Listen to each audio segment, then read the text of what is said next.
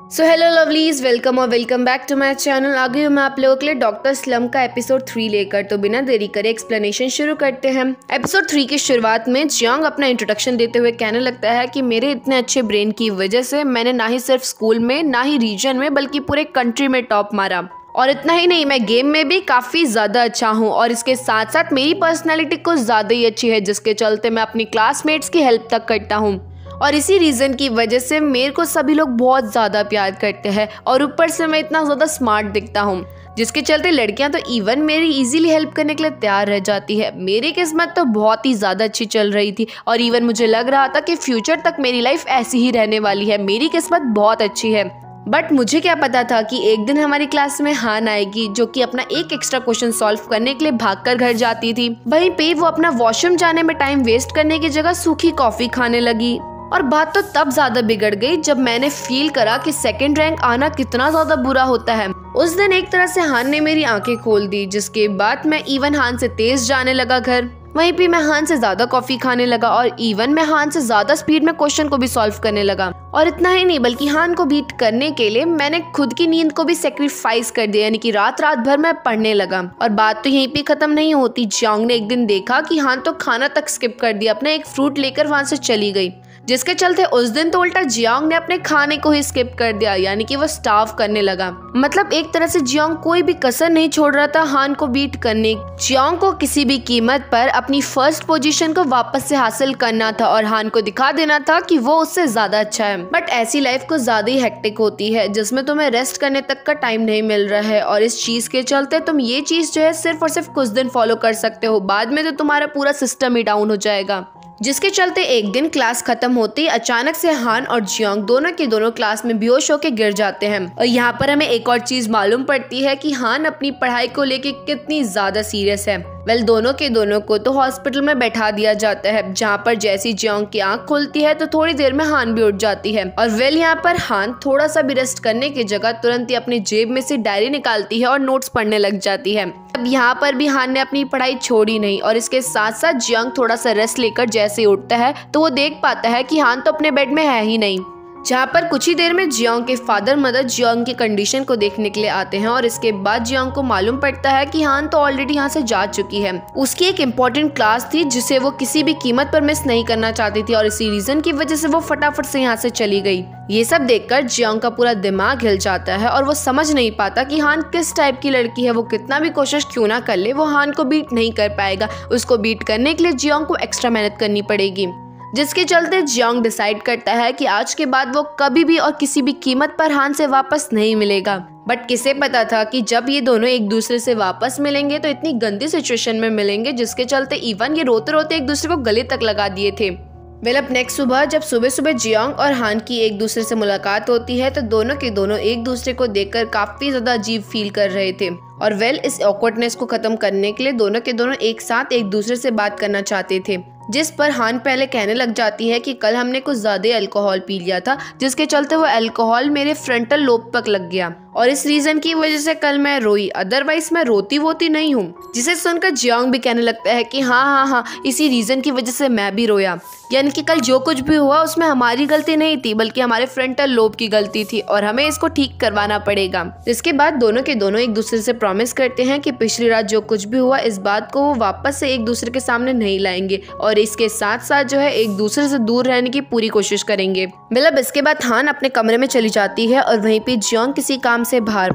यहाँ पर जब हान अपने कमरे में जाती है तो तुरंत ही हान के पास उसका भाई नाम आता है। नाम हान से कहने लगता है कि तुम्हें ज़्यादा स्ट्रेस लेने की ज़रूरत नहीं है। देखो, मैं भी अनएम्प्लॉयड और तुम भी अनएम्प्लॉयड और तुम्हें तो मालूम ही होगा कि मैं कितना ज़्यादा रिलैक्स रहता हूँ। मुझे तो किसी चीज़ की टेंशन ही नहीं होती, जिसके चलते आज के बाद तुम्हें भी इस चीज़ की टेंशन लेने की ज़रूरत नहीं। और जैसा कि हम सबको मालूम है कि हमारे भाई कितने ज़्यादा बिगड़े हुए होते हैं मतलब वो जानबूझ के हमें पोक करने की कोशिश करते हैं। और ठीक इसी तरह से नाम भी अभी हान को पोक करने की कोशिश कर रहा था। और इनकी ये सारी बातें हान की मोम भी सुनने में लगी हुई थी, जिसके चलते उन्हें नाम पे तो बहुत ज़्यादा गुस्सा आ रहा था और इस चीज़ की वजह से वो तुरंत ही नाम के पीछे पड़ जाती है उसे मारने के लिए। जिसे देख हान तुरंत ही अपने कमरे के लिए चली जाती है, जहाँ पर जाने के बाद हान खुद से कहने लगती है कि अगर मैं इस सिचुएशन में इस घर में रही तो मेरी कंडीशन और ज़्यादा बिगड़ जाएगी। बट लिहोंग तो कुछ ज़्यादा ही बिज़ी थी। इवन यहाँ पर हाँ लिहोंग से कहने लगते हैं कि कोई बात नहीं, कल घूमने चल लेंगे बट कल के लिए भी लिहोंग बिल्कुल फ्री नहीं थी। ली होंग हान से कहने लगती है कि अगर तुम्हें इतनी ही बोरियत फील हो रही थी तो तुमने जॉब छोड़ी क्यों? वापस से चले जाओ जॉब लेने के लिए अपना। इसके बाद थान अपनी दोस्त का कॉल कट कर कर रूम में बैठी थी कि तभी अचानक से हान की मम हान के पास आती है, पानी और दवाई लेकर।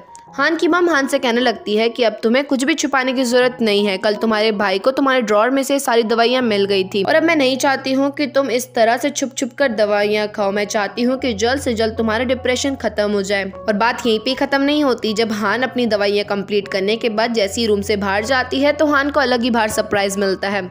यहाँ पर हान के स्ट्रेस को खत्म करने के लिए हान की मॉम अंकल और हान के भाई ने हान के लिए टेबल सजा रखा था। जिस पर नाम कहने लगता है कि दीदी, ये मेरा आइडिया है। मैंने इन लोगों को ये आइडिया दिया था। जिस तरह से लोग हर ओकेशन में पार्टी करते हैं, भले ही वो अच्छी ओकेशन हो या फिर बुरी, जैसे कि good bye party divorce party ठीक उसी तरह से आज हम आपकी डिप्रेशन पार्टी मना रहे हैं। वहीं पे दूसरी तरफ़ जियोंग गया हुआ था अपने लॉयर से बात करने के लिए, जहाँ पर लॉयर्स को भी समझ नहीं आ रहा था कि जियोंग के फिंगरप्रिंट्स उस दवाई की डिब्बी में से कैसे मिल गए। पर खैर, उन्हें ज़्यादा चिंता करने की ज़रूरत नहीं है, क्योंकि इतना सबूत ये प्रूफ नहीं कर सकता कि जियोंग ने जानबूझकर उस लेडी का खून करा। इसके साथ साथ डॉक्टर लोग कहने लगते हैं कि जो अगले हफ़्ते हियरिंग होने वाली है, उस हियरिंग में डॉक्टर कांग जेन भी विटनेस बनना पसंद करेगा। मतलब बाहर निकलने के बाद जियोंग जंगशुन से कहने लगता है कि मुझे समझ नहीं आ रहा कि ये सब कुछ क्या चल रहा है। मतलब पिछले हफ़्ते तक तो डॉक्टर कांगजिन अपनी तरफ़ से कुछ नहीं कहना चाहता था। इतना फोर्स करने के बावजूद भी वो कुछ नहीं कर रहा था। बट आज अचानक से उसने खुद ही आगे से कह दिया कि वो अगले हफ़्ते विटनेस बनना चाहता है। ये बहुत ज़्यादा स्ट्रेंज बात है। फिर दूसरी तरफ़ हम देखते हैं की जियोंग के रूम की तरफ़ कोई काले कपड़े पहना हुआ आदमी जा रहा था। पर इस बार वो कमरे की तरफ़ तक नहीं जाता, बल्कि वो तुरंत ही जो है कांच की खिड़कियों को एक हथौड़े की हेल्प से तोड़ देता है। यहाँ पर कांच टूटने की आवाज़ तो हान की मॉम और नाम भी सुनता है, लेकिन उनको लगने लगता है कि मे भी उनके ही कान बज रहे हैं। साथ साथ हान की मॉम नाम से कहने लगती है कि ये सारी की सारी ब्लैंकेट तुम ऊपर दे के आ जाओ। मैंने देखा था कि जियोंग के पास बहुत पतला सा कंबल है, उसको तो बहुत ज़्यादा रात को ठंड लगती होगी, जिस पर नाम कहने लग जाता है कि आप उसकी केयर क्यों कर रही हो? और आपने ही तो कहा था कि वो डॉक्टर है तो उसके पास इतना पतला कंबल क्या कर रहा है? उसे तो रिच होना चाहिए। जिस पर हान की माम नाम से कहने लगती है कि तुम इतना फालतू बोलने की ज़रूरत नहीं है, तुम खुद ही सोचो कि अगर वो इतना ही अमीर होता, उसकी कंडीशन अच्छी चल रही होती तो वो हमारे इस टाइप के घर में रहता।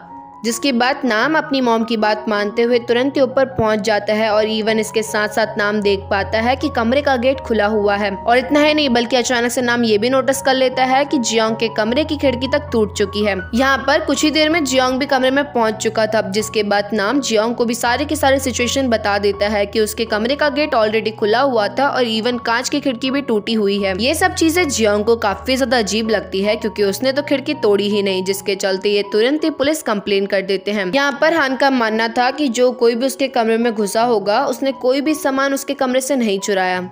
जिस पर पुलिस का मानना था कि उसे हान के कमरे में या तो वो चीज़ नहीं मिली होगी जो वो लेना चाहता था, या फिर ऐसा हो सकता है कि नाम ऊपर आ रहा था और ये चीज़ की आवाज़ वो सुन चुका होगा, जिसके चलते वो टाइम रहते भग गया। वेल, अब इसके बाद पुलिस पुलिस तो वहाँ से चले जाते हैं, लेकिन हान की माम को ज़्यादा ही काइंड होती है। हान की मम जियोंग से कहने लगती है कि क्यों ना तुम आज रात हमारे ही घर में सो जाओ, क्योंकि तुम्हारी कमरे की खिड़की टूट चुकी है, जिसके थ्रू तुम्हारे कमरे में काफ़ी ठंडी हवा आएगी और इस रीजन की वजह से तुम सो भी नहीं पाओगे। पर जियांग ज़्यादा बर्डन नहीं बढ़ाना चाहता था, जिसके चलते जियांग हान की मम से कहने लगता है कि आपको ज़्यादा चिंता करने की ज़रूरत नहीं है। मैं खुद से मैनेज कर लूँगा, मेरे पास बहुत सारे न्यूज़पेपर पड़े हुए हैं, मैं उन न्यूज़पेपर को अपने कमरे की खिड़की में लगा दूँगा। वेलब जियांग अपने कमरे में जाकर सारे कांच के टुकड़ों को उठाने लगता है कि इतने में वहाँ पर हान पहुँच जाती है। हान को भी क्योंकि मालूम पड़ गया था कि जियांग के कमरे में किसी ने घुसने की कोशिश करी। हान यहाँ पर जियांग को यही कहने के लिए आई हुई थी कि उसे ऊपर नहीं सोना चाहिए और उनके साथ नीचे कमरे में सो जाना चाहिए। जिस पर शुरुआत में तो जियांग काफ़ी सारे बहाने बनाने लगता है, जैसे की मैं क्योनमेन के घर में चले जाऊँगा या अपने दोस्तों के घर में चले जाऊँगा या फिर अपने रिलेटिव के घर में चले जाऊँगा। फरहान को भी इन सब चीज़ के जवाब अच्छे से मालूम थे। क्योनमेन अभी सर्जरी में बिज़ी होगा। जियोंग के दोस्त उसे भाव नहीं देते, यानी कि उससे बात नहीं करते। और रही बात जियोंग के रिलेटिव्स की, वो तो जियोंग का कॉल तक नहीं उठाते तो जियोंग रहेगा किसके घर? पर इतना सब कुछ जियोंग को बताने के बावजूद भी हान समझ चुकी थी कि जियोंग किसी भी कीमत पर उनके साथ सोने वाला नहीं है। जिस पर पहले तो हान जियोंग की हेल्प करने लगती है उन कांच के टुकड़ों को उठाने में, और फिर उसके बाद कहने लग जाती है कि कोई बात नहीं, ठीक है, तुम अपने कमरे में सो जाओ वैसे भी ये छोटा सा ही तो मैटर है। किसी ने तुम्हारी खिड़की ही तो तोड़ी है बस। अदरवाइज़ जो बड़ा सीन होता है, उसमें तो कोई भी पर्सन बाहर से आता है और अंदर सो रहे पर्सन को मार देता है या फिर उसको उल्टा लटका देता है। और वैसे भी रिसेंट में हमारे बगल वाली बिल्डिंग में चोरी हुई थी तो ये सारी तो नॉर्मल सी बात है। और जियांग तो ऑलरेडी काफ़ी ज़्यादा डरपोक था, जिसके चलते होना क्या था? जियांग बिना कुछ सोचे समझा फाइनली हान के घर में चले जाता है वहाँ पर सोने के लिए। वेल सोने से पहले यहाँ पर जियांग हान की फैमिली के साथ खाना खाता है और यहाँ पर बहुत बड़ा फनी सीन होता है। जहाँ पर शुरुआत में जैसे हान की मॉम को मालूम पड़ता है कि जियांग हान का एक क्लासमेट था, जिसके चलते हान की मॉम एक एक करके सारी अच्छी अच्छी डिशेस जो है जियांग की तरफ़ रखने लग जाती है। जिसके बाद नाम जियांग से पूछने लगता है की मेरी बहन वैसे क्लास में कैसी थी? मतलब वो एक तरह से पूछ रहा था की उसकी बहन भी शरारत करती थी की नहीं करती थी। जहाँ पर जैसे जियांग हान की बुराई करना शुरू करता है तो हान की मॉम भी धीरे धीरे करके सारी अच्छे अच्छे डिशेस एक बार फिर से जियांग से दूर लेके जाने लगती है। क्योंकि उनके अकॉर्डिंग हान और जियांग नॉर्मल क्लासमेट थे, कोई भी बेस्ट फ्रेंड बेस्ट फ्रेंड नहीं थे, जिसके चलते वो जियांग को अच्छा खाना क्यों दे? लेकिन यहाँ पर हान और जियांग की बातें खत्म नहीं हुई थी। यहाँ पर जियांग कहने लग जाता है कि हान पूरे टाइम पढ़ा करती थी, हर चीज़ में आगे रहती थी। इवन हम लोग एंजॉय करने के लिए भी जाते थे तो हान वहाँ पर हमारे साथ नहीं जाती। वेल ये बात सुनकर हान की मॉम थोड़ा रोने लग जाती है क्योंकि उनकी बेटी बचपन में कितना ज़्यादा हार्डवर्क करती थी, अपनी सारी खुशियों को पीछे छोड़कर सिर्फ़ और सिर्फ़ पढ़ाई पे ध्यान देती थी। जिस पर जियांग हान की मॉम से माफ़ी माँगता और कहने लगता है कि मुझे ये बात आप लोगों के सामने नहीं कहने चाहिए थे और फिर थोड़ी देर बाद हान की मॉम भी रोना बंद कर देती है। और इसके साथ साथ अब हान की मॉम को मालूम पड़ गया था कि जियांग इतना भी बुरा नहीं है, जिसके चलते वो एक बार फिर से जियांग की तरफ़ अच्छे अच्छे डिशेस बढ़ाने लग जाती है। खाना खाने के बाद हान जियांग को एक दरी, कंबल और तकिया दे देती है और कहने लगती है की आराम से सो जाना और मुझे डिस्टर्ब मत करना। जिस पर जियांग हान को रोकते हुए कहने लगता है की क्यों ना हम लोग आइसक्रीम खाने जाए, क्योंकि तुमने मेरी इतनी बड़ी हेल्प करी तुमने अपने घर में मुझे सुलाया। जिसके चलते मैं चाहता हूँ कि मैं तुम्हें ट्रीट दूँ और इवन हम दोनों को ये अच्छे से मालूम है कि अभी हम कितने ज़्यादा स्ट्रेस में हैं। यहाँ पर शुरुआत में तो हान जियांग से कह देती है साफ़ साफ़ कि काफ़ी रात हो चुकी है और मैं तुम्हारे साथ कहीं नहीं जाने वाली। इसके बाद हान तुरंत जियांग के रूम से बाहर निकल कर अपने रूम की तरफ़ बढ़ी रही थी कि तभी अचानक से हान देखती है कि उसकी माम उसके रूम में जा रही है दवाइयाँ लेकर। और ऊपर से हान की माम चिल्ला चिल्ला कर बोलने में भी लगी हुई थी कि, हान बेटा, तुम कहाँ हो? मैं तुम्हारे टी लेके आई हूँ, इससे डिप्रेशन तुम्हारा थोड़ा कम होगा। और हान ये सारी बातें एक बार फिर से नहीं सुनना चाहते थे, जिसके चलते हान तुरंत ही जियांग के रूम में भाग के जाती है और कहने लगती है कि चलो फटाफट आइसक्रीम खाने चलते हैं। वहीं पे दूसरी तरफ़ हम ली होंग को देख पाते हैं, जो कि पूरी रात काम करने में लगी हुई थी और यहाँ पर ली होंग अपना काम खत्म कर कर थोड़ा ब्रेक लेती है और हान के बारे में सोचने लग जाती है। ली होंग सोचने लगती है कि हान ने आज तक कभी भी ब्रेक नहीं लिया, जिसके चलते उसे मालूम नहीं होगा कि किस तरह से उसे अपनी लाइफ को एंजॉय करना चाहिए। जिस पर लियोंग को एक आइडिया आता है कि क्यों ना वो हान को समझाए कि किस तरह से फ्री टाइम में एंजॉय किया जाता है, जिसके लिए लियोंग तुरंत यूट्यूब में वीडियो सर्च मारने लग जाती है। जहाँ पर वीडियो स्क्रॉल करते करते अचानक से लियोंग को एक वीडियो दिखाई देती है और वो और किसी की नहीं, बल्कि दाई योंग की ही थी। वेल दायोंग ने तो वीडियो टाइटल बहुत अजीब सा डाला हुआ था, जिसके चलते लियोंग तुरंत ही दायोंग की वीडियो पर क्लिक करती है ये देखने के लिए कि अंदर क्या समझा रहा है ये। पर दायोंग की वीडियो देखने के बाद ली होंग को दायोंग की वीडियो बिल्कुल भी पसंद नहीं आती। ली होंग कहने लग जाती है कि पता नहीं क्या वीडियो डालने में लगा हुआ है, ऐसे चैनल को कौन सब्सक्राइब करेगा? बट यहाँ पर हो जाती है ली होंग से एक गड़बड़। ली होंग अचानक से स्क्रॉल करते टाइम गलती से दायोंग के चैनल को सब्सक्राइब कर देती है और ये चीज़ नोटिस भी नहीं कर पाती। जिसके चलते दायोंग जो कि अपने कलीग्स के साथ अपने घर की तरफ़ जा ही रहा था कि तब इतने में दायोंग को एक मैसेज का नोटिफिकेशन आता है। जहाँ पर मैसेज देखने के बाद दायोंग काफ़ी ज़्यादा सरप्राइज़ था। उसके मम्मी, डैडी और सारे कलीग्स को मिलाने के बाद उसके टोटल पाँच सब्सक्राइबर थे, लेकिन अचानक से किसी ने दा दायोंग के चैनल को सब्सक्राइब करा है। और वेल इस चीज़ को देखकर दायोंग काफ़ी ज़्यादा खुश होता है। और वैसे भी होगा क्यों नहीं खुश? क्योंकि हम यूट्यूबर्स के लिए एक एक सब्सक्राइबर बहुत ज़्यादा हमारे प्रीशियस होता है और हमें एक एक सब्सक्राइबर बढ़ने की बहुत ज़्यादा खुशी होती है। अब वापस से हम हान और जियांग को देख पाते हैं, जो कि बाहर बैठकर आइसक्रीम खाने में लगे हुए थे, जिस पर जियांग हान से बात करते हुए कहने लगता है कि क्या तुम्हें खुशी नहीं हो रही? तुम अपने दोस्त के साथ इस तरह से बाहर बैठकर आइसक्रीम खा रही हो? जिस पर हान कहने लग जाती है कि तुम मेरे दोस्त नहीं, बल्कि क्लासमेट हो। वेल, ये बात जियांग को कुछ अच्छी समझ नहीं आती। जियांग कहने लगता है कि इन दोनों में अंतर क्या हुआ?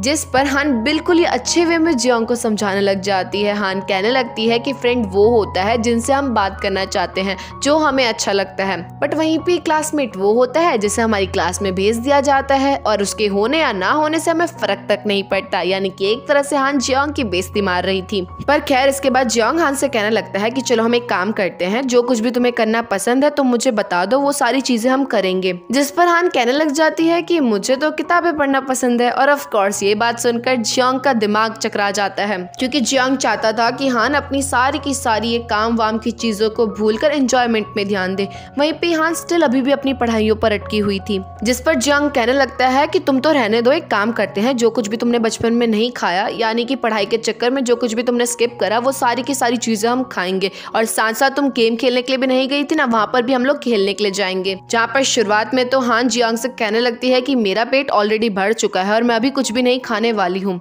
लेकिन जब जियांग हान को लोकेशन में लेके जाता है और स्ट्रीट फ़ूड खिलाता है तो हान तो रुकती ही नहीं खाना खाने से। मतलब जो लड़की अभी बोल रही थी कि मेरा पेट भरा हुआ है, वो दबा दबा के खा रही है खाना। अब खाना खाने के बाद जियांग हान को खेलने के लिए लेके जाता है, जहाँ पर शुरुआत में हान वहाँ पर भी नहीं जाना चाहती थी, लेकिन उस लोकेशन को देखने के बाद अब हान के मन में भी था कि मुझे फटाफट से ये गेम खेलने हैं।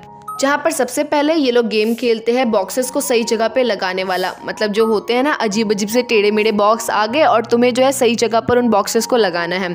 और वेल, जियांग को तो शुरुआत में लग रहा होता है कि हान तो बुद्धू है, जिसके चलते मेरा फ़र्ज़ बनता है हान को समझाना। लेकिन जब जियांग हान की स्क्रीन को देखता है तो उल्टा हान यहाँ पर जियांग से ज़्यादा अच्छा खेल पा रही थी। मतलब ऐसा हान को देखकर बिल्कुल नहीं लग रहा था कि हान ये चीज़ पहली बार खेल रही है। वेल इस गेम से बोर होने के बाद ये दोनों चले जाते हैं गाना गाने के लिए, जहाँ पर जियांग गाना नहीं गाती, उल्टा पोएम गाने लग जाती है। और ऑफकोर्स पोएम सुनना हर किसी को बोरिंग लगता है, जिसके चलते एक टाइम बाद जियांग तुरंत ही जो है स्क्रीन को बंद कर देता है, ताकि हान गाना गाना बंद करे या फिर पोएम सुनाना बंद करे। यहाँ पर जियांग हान से कहने लगता है कि तुमने गाना क्यों नहीं गाया? तुम पोयम क्यों गा रही थी? जिस पर हान का मानना था कि उसने बचपन में सिर्फ़ और सिर्फ़ एक ही पोयम याद करी, बाकी उसने कभी भी गाने नहीं सुने। आज के टाइम पर जहाँ सभी लोगों को के पॉप गाने अच्छे से मालूम है, वहीं पे मैंने एक भी गाना नहीं सुना है, क्योंकि मुझे अपनी पढ़ाई पर ध्यान देना पड़ता था और इस रीजन की वजह से मैं गाने सुनने में भी टाइम वेस्ट नहीं करती थी। इस टाइम पर जिस तरह से हान जियांग से बात कर रही थी, उसे देखकर ऐसा लग रहा था कि हान थोड़ा सा लो फील कर रही है। जिस चीज़ को वापस से बढ़ाने के लिए जियांग लेके जाता है हान को डांस एरिया में, जहाँ पर शुरुआत में हान नॉर्मली डांस कर रही होती है, लेकिन जैसे ही हान एक बार ग्रिप पकड़ती है तो काफ़ी ज़्यादा उछल उछल के डांस करना शुरू करती है, और इवन हान और जियांग दोनों को को एक साथ एंजॉय करने में काफ़ी ज़्यादा मज़ा आता है। वेल अब ये लोग पूरे टाइम एंजॉय करते हैं और अब फाइनली बारी आ जाती है इनकी वापस घर जाने की।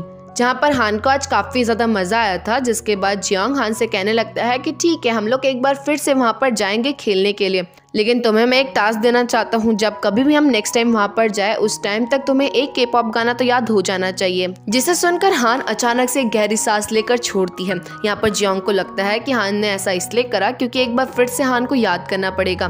जिस पर हान कहने लग जाती है कि ऐसा कुछ नहीं है। मैं तो इसलिए ऐसा करी क्योंकि मुझे समझ नहीं आ रहा था कि मैंने क्यों इतनी पागलपंती करी अपने पास्ट में। मेरे पास करने के लिए तो बहुत सारी चीज़ें थी जिसके थ्रू मैं काफ़ी ज़्यादा हैप्पी लाइफ जी सकती थी। लेकिन मैंने अपना टाइम किसमें इन्वेस्ट करा? उस चीज़ में, जिस पे तो अब मेरा करियर ही खत्म हो चुका है। जिस पर जियांग हान से कहने लगता है कि हम दोनों का ये भी टाइम खराब चल रहा है, लेकिन इस चीज़ की वजह से हम अपनी लाइफ को खराब नहीं कर सकते। हम एक बार फिर से अपने मोराल को ऊपर करने की कोशिश करेंगे। वेल well गाइज़ अगर आपको अभी तक मेरी एक्सप्लेनेशन पसंद आ रही है तो वीडियो को लाइक और चैनल को सब्सक्राइब करना मत भूलना और इसके साथ साथ बेलाइकन भी दबा देना, ताकि जैसे ही मैं नेक्स्ट एपिसोड इस ड्रामे का अपलोड करूँ तो आप लोगों को तुरंत ही नोटिफिकेशन पहुँच जाए। और गाइज़ एक और बात मैं इस ड्रामे के साथ साथ एक और ड्रामा की एक्सप्लेनेशन करने में लगी हुई हूँ साइड बाय साइड जिस ड्रामे का नाम है नाइनटीन फ्लोर इस ड्रामे में हमारे मेन करेक्टर्स रात रात को जो है गेम के अंदर चले जाते हैं। और गेम खेलना कोई बुरी बात नहीं होती, लेकिन जैसे ही हमारे करेक्टर गेम में आउट होते तो तुरंत ही वो लोग रियल वर्ल्ड में भी कोमा में चले जाते हैं। तो अगर आप लोग इस ड्रामे को भी देखने के लिए इंटरेस्टेड हो तो इस ड्रामे का लिंक मैं नीचे डिस्क्रिप्शन बॉक्स में डाल दूँगी, या फिर मैं ऊपर वाले आइकन में डाल दूँगी, या फिर आप लोग सिंपली मेरे चैनल के प्लेलिस्ट सेक्शन में जाकर उस ड्रामे की पूरी की पूरी प्लेलिस्ट को एक्सेस कर सकते हैं। अब ये दोनों घर पहुँच जाते हैं, जहाँ पर जियांग रूम में जाने के बाद कहने लग जाता है कि हान वैसे इतनी भी बुरी नहीं है। वो मुझे समझती है, उसे अच्छे से मालूम है कि मेरी पर्सनैलिटी कैसी है, यानी कि मैंने गलत काम नहीं करा होगा। इवन आज उसने मेरी हेल्प भी करी कांच उठाने में, यानी कि वो केयरिंग और हेल्पफुल भी है। और इसके साथ साथ जब वो मेरे साथ डांस कर रही थी तो काफ़ी क्यूट भी लग रही थी। यहाँ पर जियोंग ये सब कुछ सोच ही रहा था कि तभी अचानक से जियोंग को याद आता है कि वो हान की तारीफ़ क्यों करने में लगा हुआ है। उसका ब्रेन डैमेज हो गया है, क्या वो जिस लड़की से नफरत करता है, उसी की तारीफ़ करने में लगा हुआ है, जिसके चलते जियोंग तुरंत ही अपने बेड में चले जाता है सोने के लिए। वहीं पे दूसरी तरफ़ हान भी जियोंग के बारे में सोच रही थी। हान कह रही थी कि मेरे इस हार्ड टाइम में मुझे लगता था कि कोई मेरे पास आएगा मुझे मोटिवेट करने के लिए, लेकिन आया भी तो कौन जियोंग? उसने मुझे टेस्टी टेस्टी खाना खिलाया, मेरे साथ डांस करा और इवन जब मैं लो फील कर रही थी तो मुझे मोटिवेट भी करा। और ये तीन चीज़ मेरे को आज बहुत ही ज़्यादा अच्छा फील करवाई जिसके बाद हान बेड में चली जाती है, हँसते हुए। और ये भी विश करती है कि ऐसा ही दिन उसकी लाइफ में रोज आता रहे। बट ऐसा कुछ नहीं होता। उल्टा नेक्स्ट डे हान चिल्लाने लग जाती है और तुरंत ही पहुँच जाती है जियोंग के पास उसको अपनी प्रॉब्लम बताने के लिए। यहाँ पर हान जियोंग को दिखाने लगती है कि उसकी जो सैलरी आई है, वो बहुत ज़्यादा ही कम है। और अभी हान को मालूम पड़ा है कि वो लो पोस्ट में काम करा करती थी, जिसके चलते जियोंग समझ जाता है कि हान का प्रोफेसर हान को कोई भी पोजिशन नहीं बढ़ाता था, बल्कि हर बार जो है हान को एक कॉन्ट्रैक्ट वर्कर के तौर पर रख देता था, जिसके चलते हान को इतनी कम सैलरी मिली। वेल, ये बात सुनकर हान को काफ़ी गुस्सा आ रहा था और इस चीज़ की वजह से हान अभी के अभी अपने प्रोफेसर को ढंग से सबक सिखाना चाहती थी। लेकिन तुरंत ही जियांग हान को रोक देता और कहने लगता है कि तुम्हें ये काम नहीं करना चाहिए, क्योंकि अभी अभी तुमने अपने प्रोफेसर के साथ सीन क्रिएट करा है और अगर तुम एक बार फिर से सीन क्रिएट कर दोगी तो तुम्हारी जॉब कहीं पे भी नहीं लगने वाली है। और वैसे भी लोगों को असलियत कम पता होती है और वो बोलते ज़्यादा है, और ये चीज़ जियांग से बढ़कर कौन समझ सकता है, जिसके बाद जियांग चले जाता है अपने रूम की तरफ़ और साथ साथ जाते जाते ये भी देख पाता है की हान एक बार फिर से टेंशन लेने लग गई है। अब इसके बाद हान पहुँच जाती है हॉस्पिटल के बाहर अपने कलीग से मिलने के लिए और यहाँ पर हान को मालूम पड़ता है कि सिर्फ़ और सिर्फ़ हान की पोजीशन नहीं, बल्कि प्रोफेसर ने तो इन लोगों की पोजीशन को भी लो करा हुआ है। हान चाहती थी कि ये तीनों के तीनों मिलकर प्रोफेसर से लड़के आए, बट वो साफ़ साफ़ इस काम के लिए हान से मना कर देते हैं, क्योंकि हान ने तो अपनी जॉब छोड़ दी है, लेकिन अभी तो वो जॉब कर रहे हैं ना और उनके लिए अपनी जॉब प्यारी है।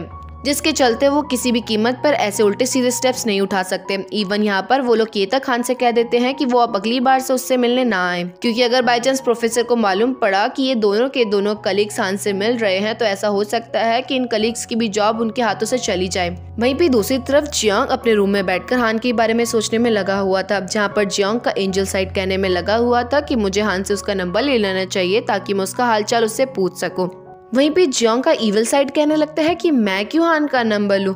जियांग का एंजल साइड कहने लगता है कि कहीं हान मुसीबत में तो नहीं, वहीं पे इवल साइड कहने लगता है कि मुझे क्या फ़र्क पड़ता है? वो मुसीबत में भी होगी तो। कि तभी इतने में जियांग की नज़र पड़ती है अपने कमरे की खिड़की पर। जियांग कहने लगता है कि इन्होंने इतनी मेरी मदद करी, कल मुझे खाना खिलाया और इवन मेरी खिड़की तक ठीक कर दी। जिसके चलते मेरा भी इनको थैंक यू बोलना तो बनता ही बनता है। मुझे इन लोगों के लिए कुछ ना कुछ तो लेके जाना चाहिए। और फिर रास्ते में मुझे हान मिल भी जाएगी तो इससे कोई फ़र्क नहीं पड़ता। मैं हान से उसका हाल चाल पूछ लूँगा सिंपल जिसके बाद जियांग बहुत बड़ा फ्रूट का डब्बा खरीद कर हान के घर में जाने ही वाला था कि तभी गेट से ही जियांग को अंदर चल रही बातों की आवाज़ सुनाई देने लग जाती है, जहाँ पर नाम अपनी मॉम को कहने में लगा हुआ था की, मम्मी, मुझे याद आ गया की मैंने जियांग को कहाँ देखा था। वो एक्चुअली में प्लास्टिक सर्जरी का काम करता और इस रीजन की वजह से रिसेंट में उसके ऊपर केस चल रहा है।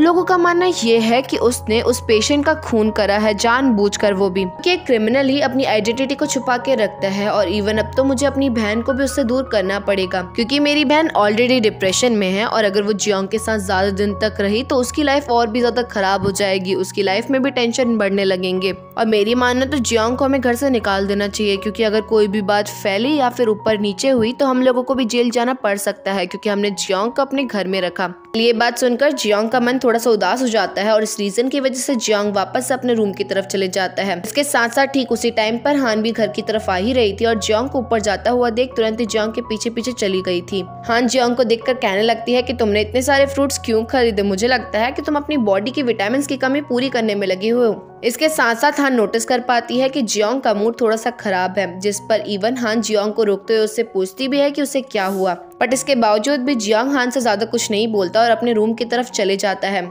जिसके बाद जब हान भी अपने घर जाती है तो तुरंत ही हान की मॉम हान को बता देती है कि तुम्हारे दोस्त ने कुछ कांड वांड करा है तो तुम्हें भी उससे दूरी बना के रखनी चाहिए। वेल ये बात सुनकर हान को अब समझ आ चुका था कि जियोंग का मूड क्यों खराब है। क्योंकि हान ने देखा था कि ऊपर जाने से पहले जियांग दो मिनट के लिए शायद से उसके घर की तरफ़ रुका हुआ था। तो हो सकता है कि उसने सारी की सारी अंदर चल रही बातों को सुन लिया हो। जिस चीज़ के बारे में पता चलने के बाद हान तुरंत ही डिसाइड करती है कि वो अभी के अभी जियांग को मैसेज करेगी। जहाँ पर शुरुआत में हान जियांग को लिखने लगती है कि जो कुछ भी तुमने सुना, वो सिर्फ़ और सिर्फ़ एक मिसअंडरस्टैंडिंग थी। उन्हें कुछ भी असलियत नहीं मालूम है तुम्हारे बारे में क्योंकि। तभी टाइप करते करते हान को याद आता है कि उसके पास तो जियांग का नंबर ही नहीं है तो वो मैसेज किस पर करेगी? वेलब जियांग अपने रूम में बैठकर ये सारी बातें सोच ही रहा था कि तभी इतने में जियांग को उसके लॉयर का कॉल आता है। जहाँ पर लॉयर जियोंग को बताने लगता है कि डॉक्टर कांग जिन ने अब विटनेस देने के लिए मना कर दिया है। वेल, ये बात सभी को काफ़ी ज़्यादा अजीब लगती है क्योंकि जो डॉक्टर कांगजिन पहले तो कुछ कहना नहीं चाहता था, लेकिन फिर अचानक से वो खुद आगे से कहने लगा कि मैं विटनेस देना चाहता हूँ, यानी कि विटनेस बनना चाहता हूँ। बट अब एक बार फिर से जब जियोंग को कांगजिन की ज़्यादा ज़रूरत थी, उसी टाइम पर कांगजिन ने साफ़ साफ़ जो है मना कर दिया।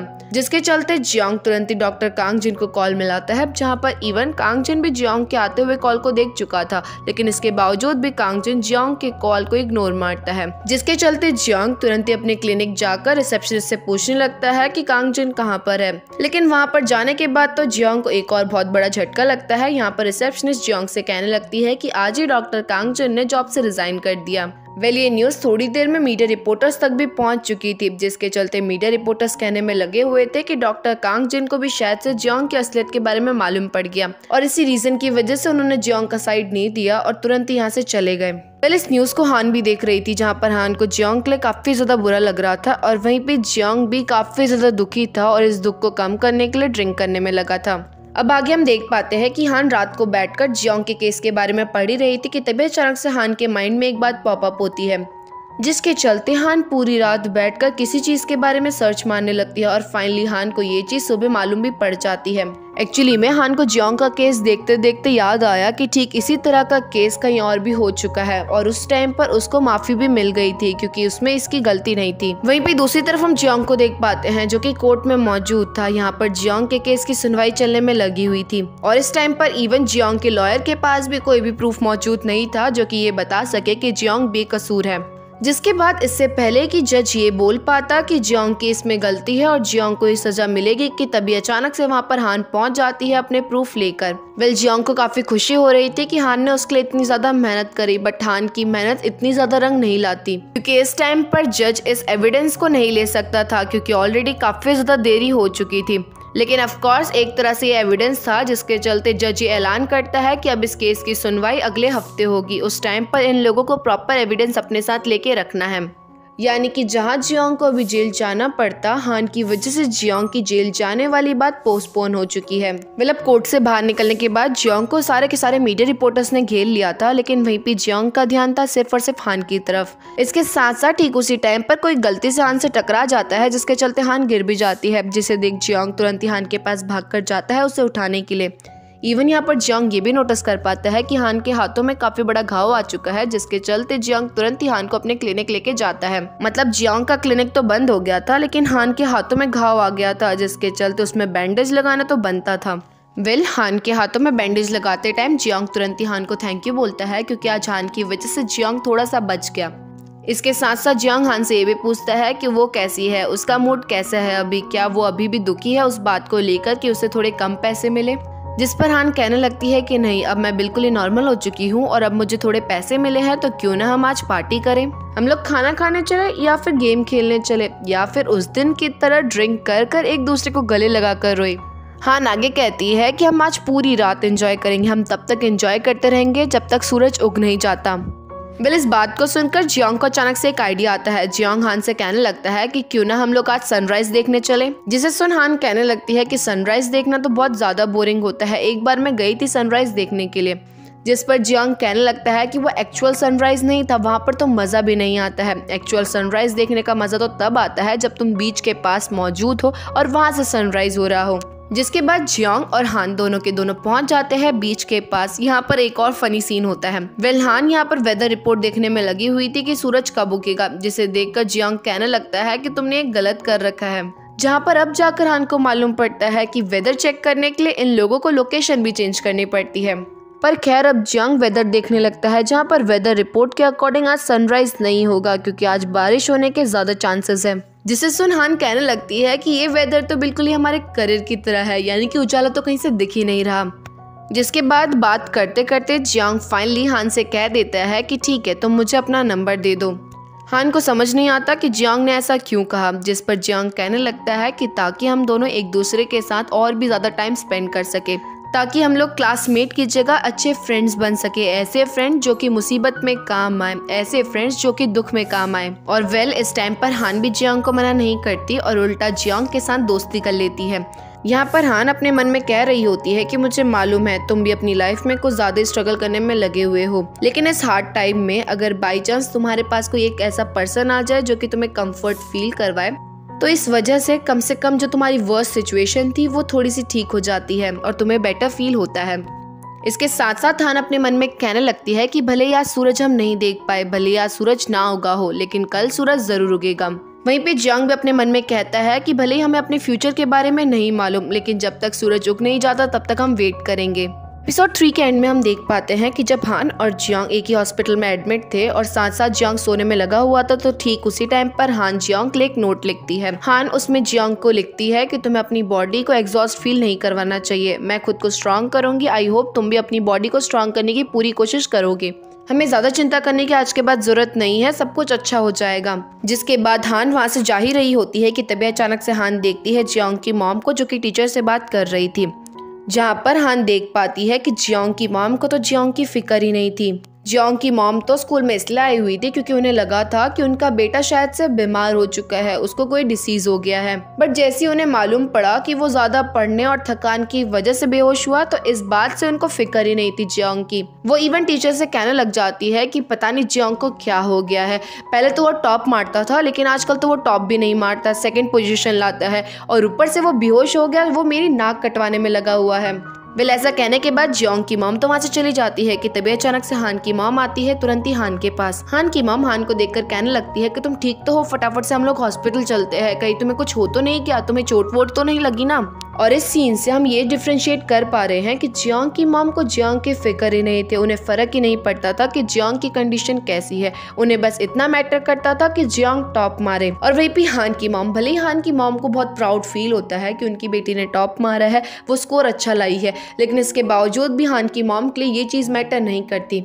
उनके लिए सबसे ज़्यादा मैटर करता है तो हान की लाइफ हान की कंडीशन सही होनी चाहिए तो वो भी खुश रहती है इस बात पे। अब इसके बाद हान और हान की माम वहाँ से निकल जाते हैं, जहाँ पर हम ये भी देख पाते हैं कि हान ने वो पर्ची जियांग को दी ही नहीं, उल्टा उस पर्ची को स्कूल में ही फेंक दिया। और यहीं पे हमारे एपिसोड थ्री का एंड होता है। वेल एक बार फिर से अगर आप लोगों को नाइनटीन फ्लोर ड्रामा की हिंदी एक्सप्लेनेशन देखनी है तो उसका लिंक आप लोगों को डिस्क्रिप्शन बॉक्स में ऊपर आई बटन या फिर मेरे चैनल के प्लेलिस्ट सेक्शन में मिल जाएगा। तो आई होप आप लोग मुझे उस ड्रामा में भी भर भर के सपोर्ट करेंगे। तो तब तक के बाय